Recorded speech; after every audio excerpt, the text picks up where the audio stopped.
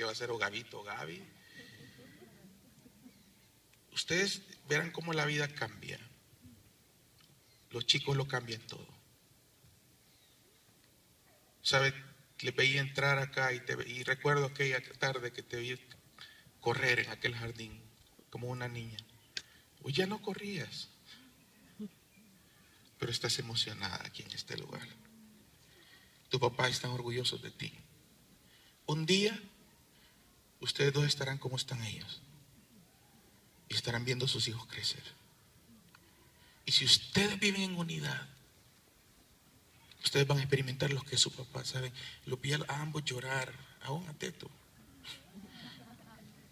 Y ustedes experimentan ese gozo. Yo, yo quiero decir algo, discúlpame, Tito, pero me siento orgulloso. Ustedes son, uno. Ver eso, experimentar eso, esa unidad es, un privilegio. El legado, la unidad hace que de generación en generación esas relaciones se fortalezcan. Y quizás un último efecto de una vida en unidad es que van a disfrutar de la vida juntos. Saben, yo conozco gente que viven y están unidos simple y sencillamente para que la gente no diga nada. Duermen en cuartos diferentes y están solo por los comentarios.